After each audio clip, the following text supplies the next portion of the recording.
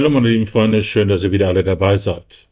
In diesem Video geht es mal wieder um einen Cold Case, der in Aktenzeichen Y dargestellt wurde. Bekannt wurde dieser Filmfall unter dem Namen Mord in der Boutique Girl und trug den Arbeitstitel Rottweiler. Das Opfer war die Studentin Gisela Greff. Zugetragen hat sich die Tat am 2. Januar 1976. Man brachte den Fall damals mit einem am 7. Januar 1976 begangenen Sexualdelikt in Verbindung. Dieses Sexualdelikt am 7. Januar 1976 konnte man aufklären. Und dabei stellte sich heraus, dass der Täter nichts mit dem Mord an Gisela Greff zu tun hatte. Dargestellt wurden beide Fälle dann in einem Filmfall in der Aktenzeichen Y-Sendung am 4. Juni 1976. Eduard Zimmermann begann die Einleitung zu dem Filmfall mit den Worten, im nächsten Filmfall geht es genau genommen um zwei Fälle, um Mord und um Vergewaltigung. Beide Verbrechen sind innerhalb weniger Tage in unmittelbarer Nachbarschaft geschehen und die zuständige Kripo kann nicht ausschließen, dass sie von ein und demselben Täter verübt worden sind. Denn nach allen kriminalistischen Erfahrungen treten Täter in unterschiedlicher Intensität in Erscheinung. Das heißt, oft entscheidet ein winziger Zufall, ob ein Opfer mit dem Leben davonkommt oder nicht. Die filmische Rekonstruktion beginnt dann auf einer Silvesterfeier in Stutenbrock bei Bielefeld. Dazu erzählt Wolfgang Grönebaum, dass auf dieser Feier wie überall das Jahr 1976 freudig begrüßt wird. Die Studentin Gisela Greff ist aus dem Ruhrgebiet nach Bielefeld gekommen, um hier zusammen mit der Familie eines Freundes das neue Jahr zu beginnen. Bevor alle auf den Balkon gehen, um sich das Feuerwerk anzuschauen, ruft Gisela noch schnell ihre Freundin Waltraud in Essen an, um ihr ein schönes neues Jahr zu wünschen. Wolfgang Grönebaum erzählt dann, dass die beiden Freundinnen Gisela Greff und Waltraud Fuchs vielfältige gemeinsame Interessen haben, auch beruflicher Art. Anke Fuchs besitzt im Ruhrgebiet mehrere Boutiquen. Gisela, die Studentin ist, arbeitet dort in ihrer Freizeit recht häufig als Verkäuferin.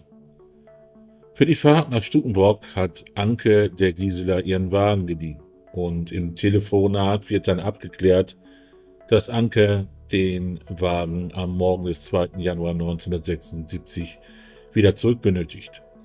Denn sie muss ihre vier Boutiquen aussuchen wegen der Inventur. Damit ist jetzt Gisela nicht ganz so einverstanden, denn sie hatte geplant, eigentlich am Freitagmorgen zurückzukommen. Anke bittet sie dann am Donnerstagabend zurückzukommen. Das wäre dann der Abend des 1. Januar. Weiterhin schlägt sie dann vor, dass Gisela bei ihr schlafen kann und sie dann am Morgen des 2. Januar zusammen in die Boutique nach Gelsenkirchen fahren und auch zusammen mit der Inventur anfangen. Der nächsten Darstellung wird dann der Wagen von Anke Fuchs vor der Boutique Girl in der Marienstraße in Gelsenkirchen gezeigt. Und Wolfgang Grönebaum erzählt dann, dass die beiden Freundinnen am Morgen des 2. Januar in der Boutique mit der Inventur beschäftigt sind.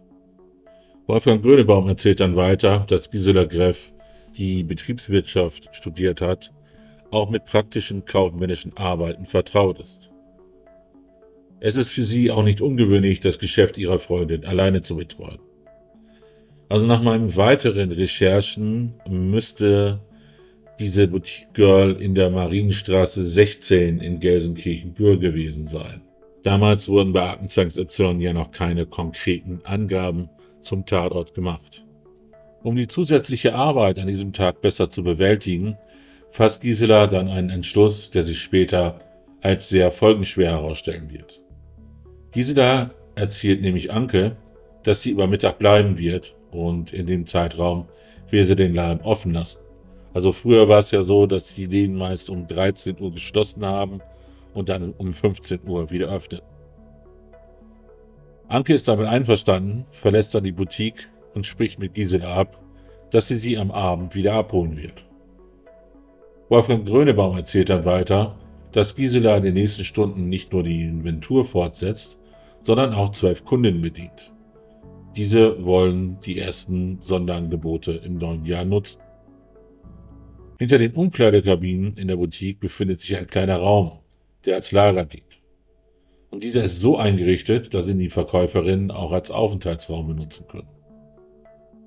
Eine im Laden anwesende Kundin interessiert sich für einen Rock, dessen Preis nicht herabgesetzt ist, und sie hat leider nicht so viel Geld dabei, um diesen Rock bezahlen zu können. Gisela bietet der Kundin an, den Rock zurückzulegen. Und die Kundin ist damit einverstanden und möchte dann um 14 Uhr wiederkommen, um den Rock zu bezahlen und abzuholen. Alle Kleidungsstücke, die Gisela an diesem Vormittag verkauft, trägt sie in ihren Kassenblock ein. Damit lässt sich dann feststellen, wie viele Kundinnen an diesem Vormittag im Laden waren und ihm etwas gekauft haben. Um 13.40 Uhr wird Gisela von zwei jungen Mädchen letztmalig lebend in dem Laden gesehen. Diese waren kurz vorher bei ihr als Kundin im Laden gewesen. Für das, was dann in den nächsten 30 Minuten in dem Laden geschieht, gibt es keine Zeugen. Aber die Polizei kann die Vorgänge ziemlich genau rekonstruieren. Kurz vor 14 Uhr muss ein Mann den Laden betreten haben. Gisela ist zu diesem Zeitpunkt vermutlich im Lager beschäftigt und kann nicht sofort nach vorne gehen und den Kunden begrüßen. Als sie dann vom Lagerraum in den Verkaufsraum geht, wird sie überraschend von einem unbekannten Mann angegriffen. Der Täter wirkt Gisela und erdrosselt sie danach mit einem Elektrokabel. Die weiteren Spuren sprechen dafür, dass der Mann Gisela erst danach ausgezogen hat und es währenddessen zu einem gefährlichen Zwischenfall kommt. Denn pünktlich um 14 Uhr kommt die Kundin, die den Rock bezahlen und mitnehmen möchte, ins Geschäft. Als sie die Verkäuferin sucht und niemand auf ein mehrfaches Hallo reagiert, schaut sie sich im Laden um und geht auch zu dem Lagerraum. Und dort sieht sie die Beine einer Frau. Sie denkt an diesem Moment daran, dass eine Schaufensterpuppe umgestürzt ist. Instinktiv spürt sie aber auch eine Gefahr. Deswegen geht sie nicht weiter in den Lagerraum hinein und ruft erneut, ob jemand da ist. Währenddessen steht in der filmischen Rekonstruktion der Täter hinter der Tür zu dem Lagerraum. Die Kundin verlässt den Laden dann wieder und erfährt später, dass ihre Ängstlichkeit ihr vermutlich das Leben gerettet hat. In der nächsten Darstellung steht dann ein Polizeiwagen vor der Tür der Boutique. Wolfgang Grönebaum erzählt dazu, dass etwa eine Stunde später eine andere Kundin die Tote im Lagerraum findet und alarmiert die Polizei. Die Ermittler in der Boutique sprechen dann darüber, dass Gisela vollkommen nackt aufgefunden wurde. Weiter kommen die Ermittler dann aber wegen der fehlenden Spuren nicht. Auch wurden der toten Gisela Greff fast keine Gegenstände gestohlen, außer vermutlich einem Dupont-Feuerzeug. Dieses hat sie immer bei sich geführt, konnte aber durch Sicht des Tatortes bzw. der Boutique nicht gefunden werden. Damit ist die filmische Rekonstruktion in diesem Fall dann erstmal beendet. Es geht dann weiter mit dem 7. Januar, denn nur wenige hundert Meter von der Boutique entfernt wird erneut eine Sexualstraftat begangen. Das ist ebenfalls im Stadtteil Bühr. Zunächst fällt dieser Mann mehreren Passanten auf, als ihm in der Hochstraße sein Hund, das ist ein Rottweiler, wegläuft. Und auch ein zwölfjähriger Junge, der seinen Freund zum Spielen abholen will, erinnert sich später an eine Begegnung mit diesem Mann. Als der Junge das Haus, in dem sein Freund wohnt, betreten will, spricht ihn der unbekannte Mann an und fragt ihn, ob er einen großen Hund gesehen hat. Dies verneint der Junge, geht die Treppen hinauf zu der Wohnung von seinem Freund. Dann heißt es weiter, dass ab circa 11 Uhr die 37-jährige Marianne Kröger allein in ihrer Wohnung ist. Und zwar in der Hochstraße in Bühr. Sie erwartet ihren Sohn Martin erst zum Mittagessen zurück. Und sie ist die Mutter des Jungen, der zum Spielen abgeholt wurde. Der Mann, der seinen Hund sucht, geistert um diese Zeit durchs Treppenhaus und Marianne Krüger hört Schritte im Treppenhaus. Plötzlich wird sie dann auf ein merkwürdiges Geräusch vor ihrer Wohnungstür aufmerksam und öffnet die Tür. In diesem Moment stürmt der unbekannte Mann in die Wohnung. Er gibt an, dass er sich verstecken muss, bedroht die Frau in der Rekonstruktion mit einer Hundeleine. Er drängt sie weiter in die Wohnung in ein Schlafzimmer und will die Frau vergewaltigen. Bei der ersten Gelegenheit flieht die Frau nackt aus der Wohnung und schließt sich auf einer Toilette im Treppenhaus ein. Der Mann versucht dann nicht die Toilettentür aufzubrechen, sondern verlässt schnell das Haus. Als er das Haus verlässt, fährt er dann wieder mehreren Passanten auf, da er erneut fragt, ob sie einen großen schwarzen Hund gesehen haben. Der Hund sitzt dann etwas weiter und der Mann leint ihn an und die beiden gehen von dann. Und damit endet dann die filmische Rekonstruktion. In der Nachbesprechung ging es dann vorrangig um den Hund und um ein Phantombild, welches angefertigt werden konnte durch Befragung der Passanten, die der Mann nach dem Hund gefragt hat. Der Mann hatte weiterhin den Passanten erzählt, dass der Hund noch nicht so richtig an ihn gewöhnt sei. Also hatte der Mann den Hund wahrscheinlich auch noch nicht so lange. Und ähm, dass noch keine Harmonie zwischen dem Mann und dem Hund da war, konnte man auch in der Darstellung sehen, denn der Hund duckte sich, als der Mann ihn anleihen wollte.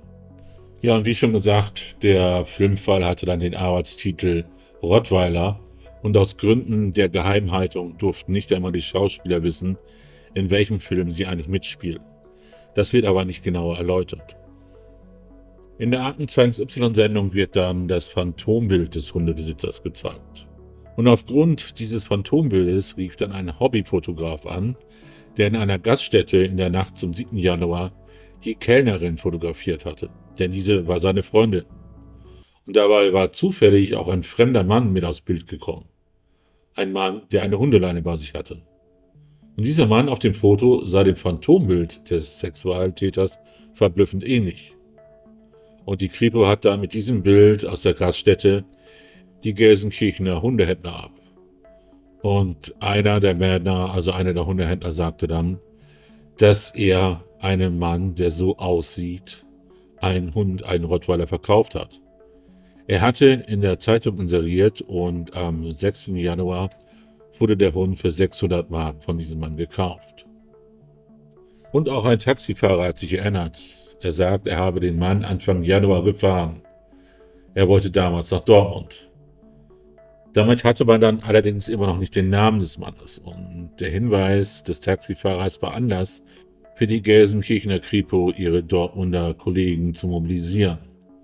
Und die ermittelten dann den Namen des Tatverdächtigen, Hans-Dieter D.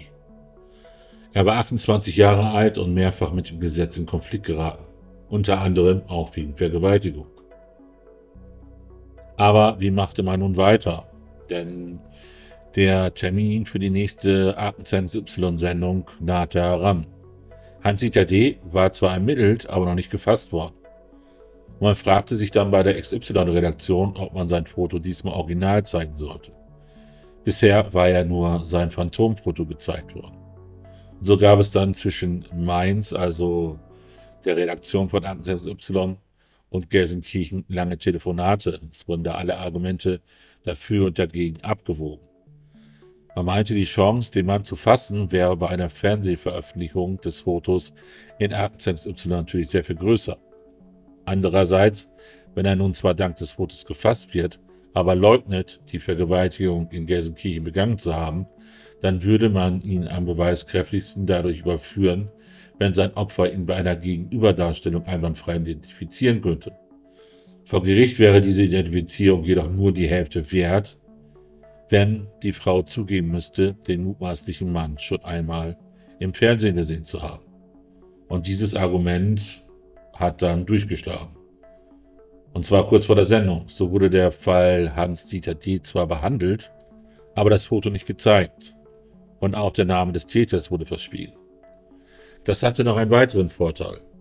Denn Hans-Dieter D., der die Sendung möglicherweise sah, konnte sich in Sicherheit wiegen, während die Polizei weiter daran arbeitete. Und dann mit Erfolg. Die Dortmunder Kripo bekam einen heißen Tipp und nahm Hans-Dieter D. in der Wohnung fest, in der er sich versteckt hielt. Er gab das Verbrechen vom 7. Januar zu.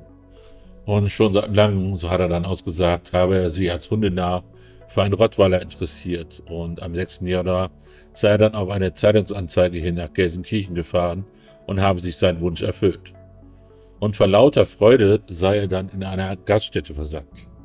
Eben in der Gaststätte, in der er ganz aus Versehen auf das Foto mit der Kellnerin geraten war. Und die Tat am nächsten Vormittag konnte er sich nur so erklären, dass er sie unter dem Einfluss von zu viel Alkohol begangen habe. Und die Polizei, also die Kripo, hat dann natürlich mal nachgefragt, wie es denn aussieht, ob er vielleicht auch für den Mord ähm, an der Boutiqueverkäuferin Gisela Greff der, der Tatverdächtige sein könnte. Aber da hat er dann empört reagiert und sagte, dass er damit nichts zu tun hat. Die Kripo ließ natürlich nicht sofort locker, haben ihn dann gefragt, wo er denn am 2. Januar gewesen sei. Der Mann musste zwar ein bisschen nachdenken, konnte sich dann aber erinnern und er hatte ein Alibi, das nicht zu erschüttern war. Und das wird aber hier nicht genau genannt. Und man muss dann heute davon ausgehen, dass im Januar 1976 in Gelsenkirchen wirklich zwei Täter innerhalb weniger Tage zwei ähnliche Verbrechen in ziemlicher oder in ziemlich naher Umgebung begangen haben. Hans-Dieter D. wurde dann wegen Vergewaltigung zu drei Jahren Haft verurteilt. Da stellt man sich natürlich dann die Frage, was ist denn mit dem Hund passiert? Der Rottweiler wurde dann einem Züchter übergeben. Ja, und Eduard Zimmermann hat sich dann noch sehr lobend über den Hund geäußert, der in der Rekonstruktion mitgespielt hat. Er sagte, er habe selten einen so disziplinierten Schauspieler erlebt. Man hätte ihn über den Züchterverband von einem Kaufmann in München geliehen bekommen. Also dürfte der Hund danach auch in gute Hände gekommen sein. Also der Mord an Gisela Greff ist seit fast 50 Jahren ungeklärt. Ob dieser Fall jemals aufgeklärt wird, ist unwahrscheinlich, aber nicht unmöglich. Man sollte die Hoffnung nie aufgeben. Ich bedanke mich auf jeden Fall bei euch fürs Zuhören oder Zuschauen, je nachdem, wie ihr meinen Content konsumiert. Passt auf euch auf und bis zum nächsten Video. Tschüss.